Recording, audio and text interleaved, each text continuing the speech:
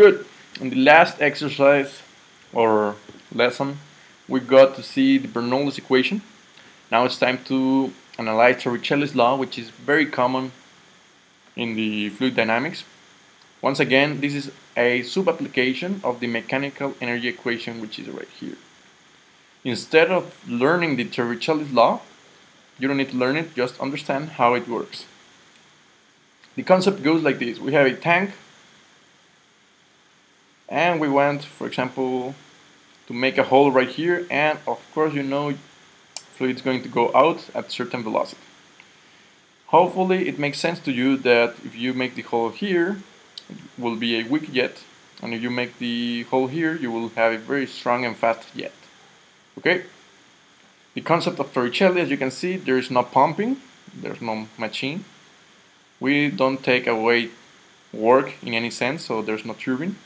We're going to suppose there is no friction, even though you could learn also the Torricelli's law with a friction, which I don't think is that critical, but you can do it. There's no pressure head because, of course, here is atmospheric pressure pushing, and this is also atmospheric pressure pushing. The final law is what is the velocity here? It's dependent on the height and gravity. How do we do this? Well, essentially, since there is no pressure, or exactly, technically speaking, it's the same pressure, so we will cancel PA and PB. The height, well, we cannot say it's zero, so we cannot take it away. Velocity in A, this is of course A, I forgot to establish my point. Very important. My A point is zero because, well, if you were to measure the velocity here, we will have micromillimeters per second or so, so you can say it's zero. We have enough pump, so take it away. Uh, okay, we cannot take this away. We'll call this is almost always one. In this course, will be always one. Velocity on B will, wouldn't make sense to take it away because that's what we want to calculate the velocity in this point. Uh, assume there's no friction and no work, so we are left only with gravity here, and the height here, and this velocity, and of course, this number two. So we got this equation, let's call it equation number one.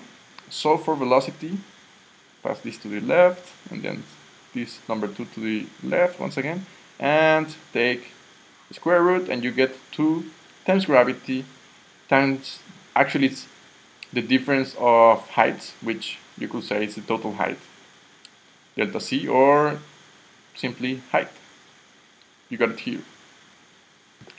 Perfect. Hopefully you got the idea. Let's do an exercise. It's pretty, pretty easy.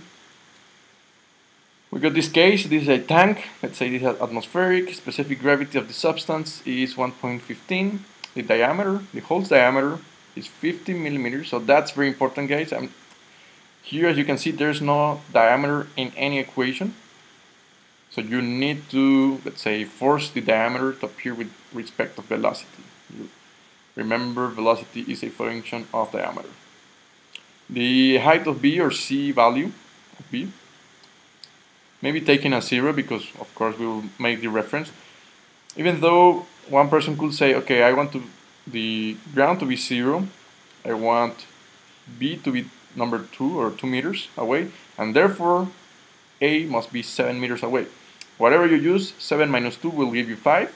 5 minus 0 will give you 5. So the overall height is 5. Friction loss equals to 0. And they tell you what will be the speed of this jet right here, of this beam of water. Actually, uh, it's not water. But we know the substance is or has a specific gravity of 1.15. Okay, let's do it.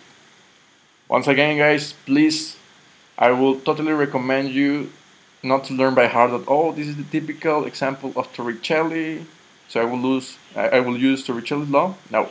Forget that guys. Because if I were to tell you we got a gauge pressure here in order to help and do it faster well you know pressure will push it. Your law or Torricelli law is fucked up. It won't work so wouldn't make any sense doing it. Or if I tell you we cannot neglect friction because it's a very, very long tank. Actually, you could say it's a, a tube. So once again, you will not be able to use this beautiful Torricelli's law. But anyways, in this case, we will make the assumptions. So pressure, same pressures.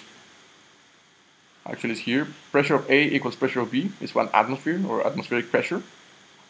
The velocity on A, I tell you, you could say it's almost zero, or maybe you could say it's one centimeter per minute or something like that, which will be almost zero. The density is just to calculate that of water, 1.15, and you get 1115 kilograms per cubic meter. Now pump, now work, out, so take this away. And very nice, we have it right here. So guys, what will happen if I will tell you, for example, that the loss of friction is equal to 5 meters? Well, you wouldn't be able to cross this, and if you were to use this equation, you will have a higher velocity than the actual, because you will lose energy, and energy means velocity. But anyways, this is the Torricelli's law example, so no worries. We will use this equation, but I just want you to to be sure guys that you know how to do this. And once again solve for the question you are asked which is velocity. What's the velocity?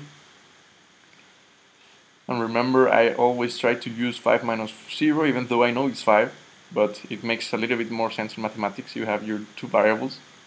Right here gravity 9.8 and you got your velocity which is 9.80 9 meters per second, which is a lot. Imagine the tank is about how 5 meter long. The tank, oops. We the tank right here. Let's make a, a little analysis. The height is 5 meters. Let's say it goes away. You will, in one second, guys, you will go and set almost 10 meters because that's the velocity. Imagine you have two seconds, you will go almost away 20 meters and so on. So that's a lot. And we're done guys. You want to check more problems of this type, please go and check out the website right here. Go to courses, apply fluid dynamics, which is this course about, and we are actually in part number one, which is incompressible flow. And check out the mechanical energy examples you will find a lot of solved problems, few quizzes, and of course this is slideshow. And you can find even more stuff in the library, such as examples in Excel and documents and so on. This was a free preview. You want to get full access, go to my incompressible flow course. The link is in the description of the video. You will get all access. Not only that, you get a very straightforward uh, user-friendly interface. So for instance, you were analyzing or studying pumps, you have it here, the pump block, then you have the sections. If you're, for example, studying the types of pumps, you can go here, and you have all the classes right here. Not to mention that you also have introduction and conclusion of every one of these. So for instance, if you were studying positive displacement pumps, the video is right here you were studying positive displacement pumps in rotatory and reciprocal are also included here. Centrifugal pumps, which is a very important topic in this course, you have it right here.